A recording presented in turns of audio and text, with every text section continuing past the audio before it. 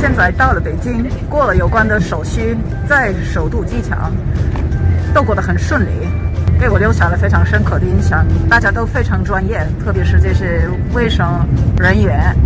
现在我们去酒店，在酒店过一个晚上。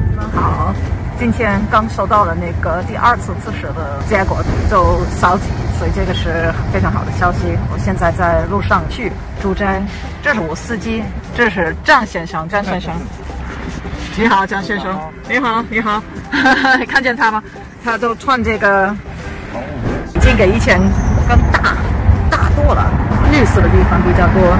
说实在的，我不太认识这个城市，现在跟二十年以前太不一样了。到了，到家了，谢谢。